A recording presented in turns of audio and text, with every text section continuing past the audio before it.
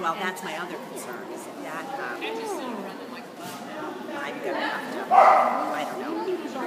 I could catch me. I'll try it for this month and see how it goes. I just yeah, buddy. On the flat rear cross.